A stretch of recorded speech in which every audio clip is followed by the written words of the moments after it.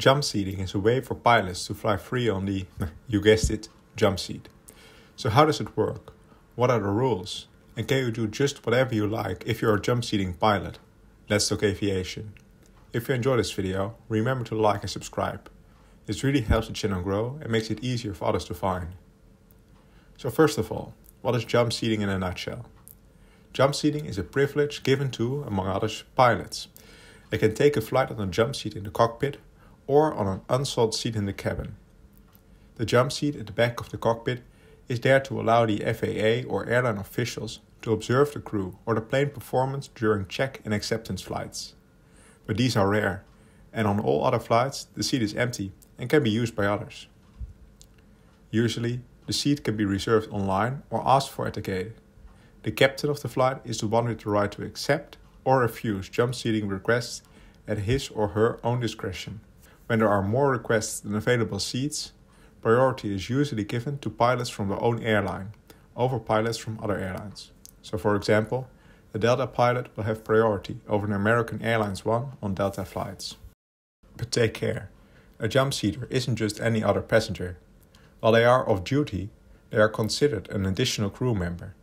This doesn't mean that the jump seater has specific duties or responsibilities under normal circumstances but in the case of an emergency, for example, it is expected that any jump seating pilot will assist when the captain asks to do so.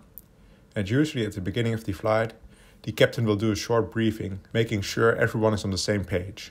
Since pilots can be asked to perform flying duties, and due to strengthened security measures after 9 11, pilots are now obligated to identify themselves to the captain and show that they are fit to fly.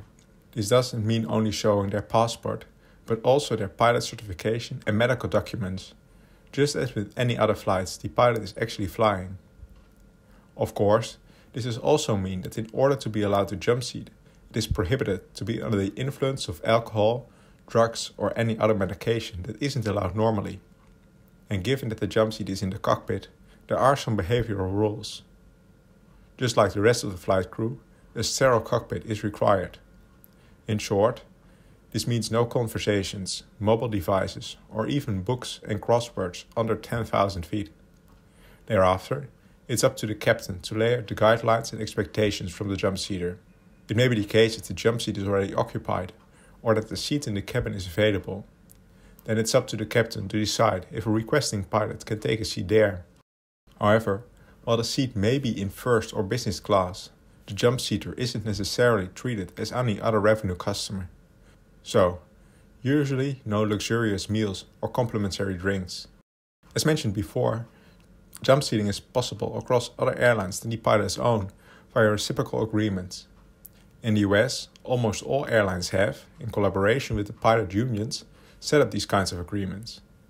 This means that passenger airline pilots can also apply for a jump seat on a cargo flight. Next to the jump seat, most cargo planes are outfitted with a small cabin behind the cockpit. These cabins, usually used by the flight crew to rest, are most often spacious business class seats and a small galley. Sounds like quite a nice flight to me. Not only pilots are allowed to jump seat, dispatchers are given these privileges as well. And there is one more group air traffic controllers. They are allowed to fly on the jump seat again since 2011, after they were banned from the cockpit following 9 11.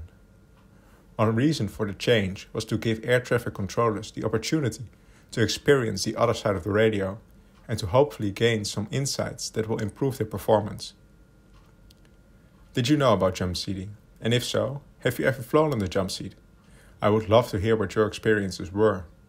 Let me know in the comments below. Thank you for watching and please consider subscribing to Let's Talk Aviation. If you have any suggestions for a future video, feel free to let me know in the comments as well.